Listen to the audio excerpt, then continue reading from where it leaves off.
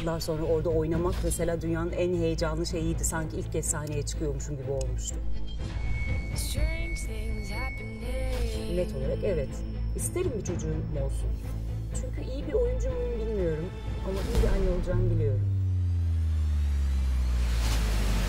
Magazin gazetecilerinin Deniz Çakır'la alıp veremediği ne var? Deniz Çakır'ın egosu karavana sığmadı mı?